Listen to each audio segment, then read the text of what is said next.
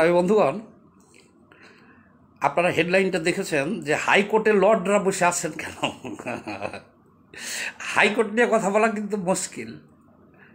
কারণ বাংলাদেশের যদি আপনি পুলিশের বিরুদ্ধে কিছু বলেন, এমপির বিরুদ্ধে বলেন, মন্ত্রীর বিরুদ্ধে বলেন, আপনার বিরুদ্ধে মামলা হবে।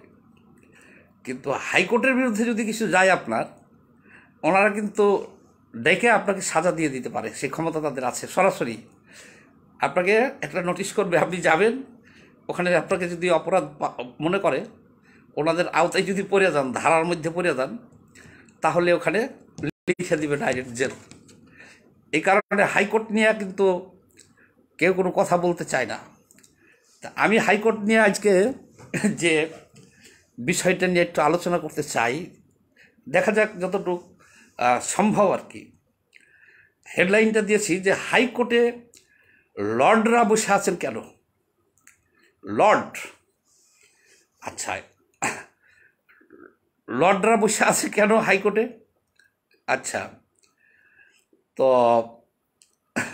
হাইকোর্টে লর্ডরা এইভাবে বসে আছে, ব্রিটিশরা তো দেশ থেকে খুব বেশি দিন হলে যায় নাই। কত বছর হয়েছে? ব্রিটিশরা গিয়েছেন, এই তো উনিশশো আটচল্লিশ সালে ব্রিটিশরা গেছে মাত্র আশি বছর হয়েছে। এখন ব্রিটিশদের যে জমিদারি প্রথা, ব্রিটিশদের যে আইন, কালাকানুন, এগুলো তো কোনোটাই বাদ দিতে পারি নাই আমরা। তাহলে এটা নিয়ে হইচই করে কি হবে বলেন? এখন কথা বলতেছি ডাইরেক্ট হাইকোর্ট নেওয়া এখন আমার সাথে যোগ দিয়েছেন কমরেড হৃদয় খান। আর আমার এই লাইভটা চলে যাবে ভয়েস অফ এথিস্ট ইউটিউব চ্যানেলে। আপনারা সবাই ভয়েস অফ এথিস্ট চ্যানেলটা সাবস্ক্রাইব করবেন। তো, লর্ডের কথাটা আসলো কীভাবে?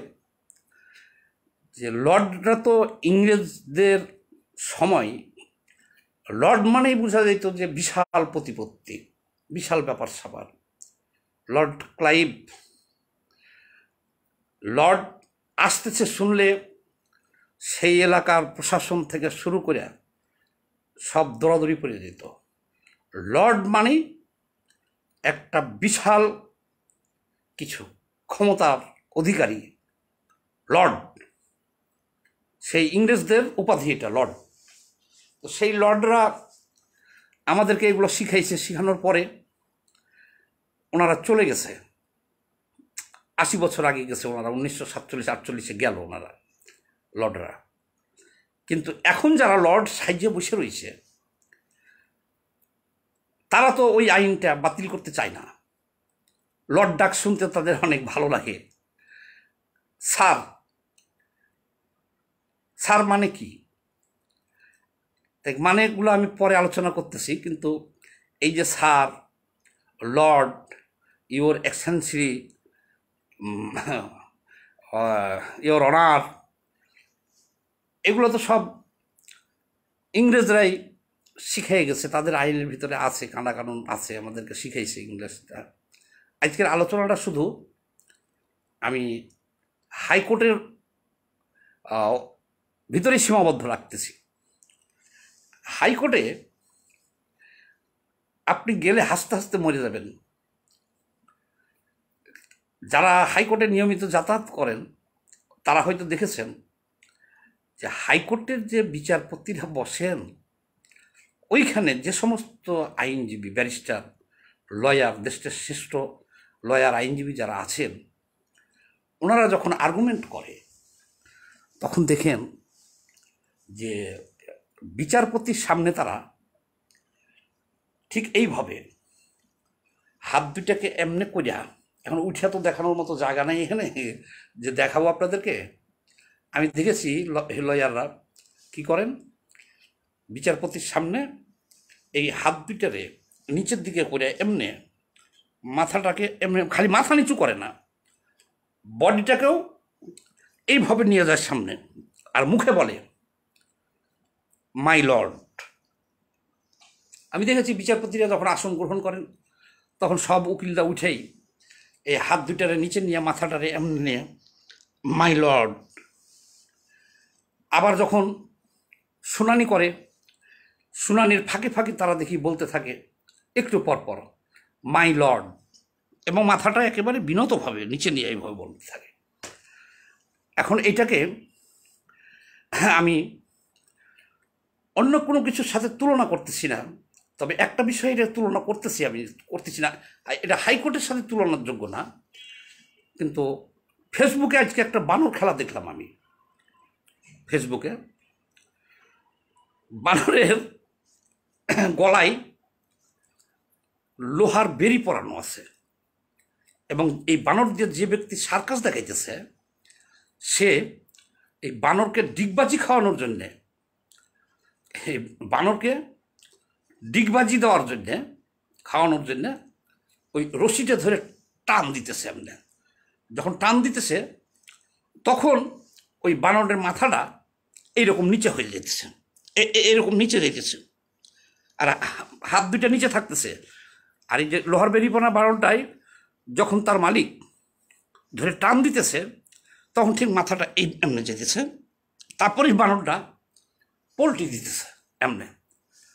আবারও যখন ওই বানরকে পোল্টি দেওয়ার জন্যে জনগণকে খেলা দেখাইতে হবে তো সার্কাস, তখন ওই বানরের ওই রশিটা ধরে এমনি টান দেয়। ওই যে বানরের মালিক খেলা দেখাইতেছে যে দেখলাম, ফেসবুকে দেখছি আমি, যখন এভাবে টানতেছে তখন বানরটা তো এমনি দাঁড়ানো থাকে।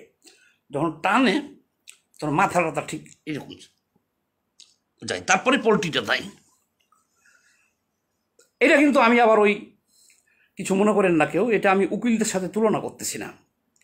কারণ ওখানে সব ব্যারিস্টার, লয়ার, আইনজীবী যারা থাকে, তারা কিন্তু উচ্চ শিক্ষিত সব আইনের লোক, তারা। আর বিচারপতি তো কোনো বুঝেনি কি। তাহলে এই বিচারপতিদের এই স্থানটা হলো জনগণের একেবারে শেষ আশ্রয়স্থল একটা মানুষকে আপনি মৃত্যুদণ্ড দিয়েছেন, ধরেন। সব ঘাট পেরিয়া তখন সেই ব্যক্তি জীবন মৃত্যুর সন্ধিকোণে থেকে আশ্রয় নেয় যে হাইকোর্টে। সেই জায়গাটা কিন্তু, এবং জনগণও দেখেন সরকার দল যখন বিভিন্ন মামলা দিয়ে আমাদেরকে হয়রানি করে, সবাইকে যখন হয়রানি করে, তখন এই রাজনীতিবিদদেরও কিন্তু সব, সবার আশ্রয়স্থল কিন্তু এই হাইকোর্টে।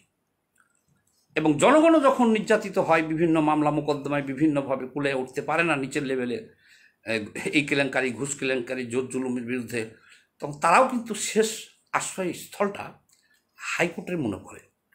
বিধায়, আমি হাইকোর্টে অশ্রদ্ধা রেখে কোনো কিছু বলছি না, অশ্রদ্ধা জানাচ্ছি না।